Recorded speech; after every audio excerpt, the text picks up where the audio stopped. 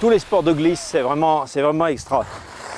Se faire plaisir comme ça, c'est des sensations extraordinaires. Beaucoup d'émotions, beaucoup de, joie. Alors évidemment, les débutants dans les premiers jours sont obligés de sont obligés d'accepter de tomber 36 fois. Ils terminent une journée complètement mouillée. Ils sont fatigués, ils n'en peuvent plus parce qu'ils poursuivent un, un rêve. Un jour, faire bien du ski, s'amuser et puis être euh, comme ça, euh, peut-être un peu épater les gens aussi, tout ça. C'est extraordinaire de penser qu'on se donne tant de mal pour quelque chose qui est bon, simplement, euh, voilà, une sensation, quoi. hein. Moi, je pense qu'en 30 ans, j'ai dû faire du ski trois ou quatre fois, avec plaisir. Mais dans ces 30 ans, je me suis fait plaisir dans ma vie chrétienne, tous les jours.